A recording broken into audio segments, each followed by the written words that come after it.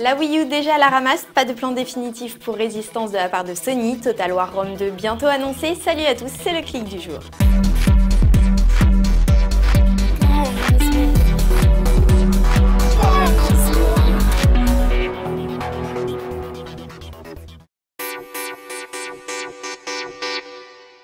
La Wii U déjà has-been avant même d'exister, c'est fort possible. Le site Kotaku a réussi à obtenir des infos exclusives qui ne vont pas flatter la prochaine console de Nintendo.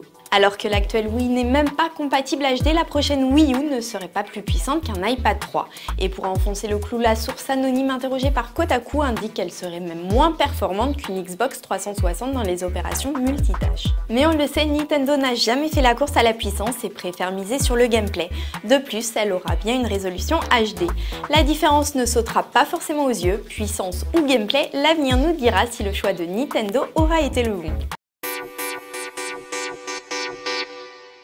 Joseph Capelli va-t-il arrêter de chasser les chimères? En effet, le dernier héros en date de résistance, la saga exclusive aux consoles Sony, pourrait prendre sa retraite. L'échec relatif des deux derniers jeux sortis sur PS3 et Vita n'aura pas convaincu Sony d'en commander des suivants au studio Insomniac Games.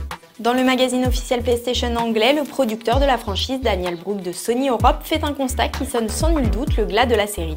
Il a été excitant de travailler sur Résistance, mais nous n'avons aucun plan définitif pour le futur.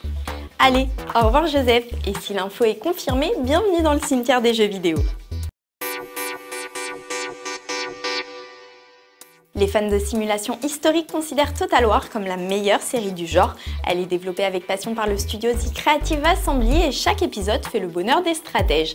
Rome Total War avait tellement cartonné qu'on imaginait mal qu'un second numéro ne voit pas le jour. En Australie, une image qui serait extraite du prochain numéro du magazine Powerplay révèle une pub pour Rome Total War 2. Info ou intox, on devrait en savoir un peu plus le mois prochain lors du Reset Show, un salon du jeu vidéo qui se tient à Brighton en Angleterre.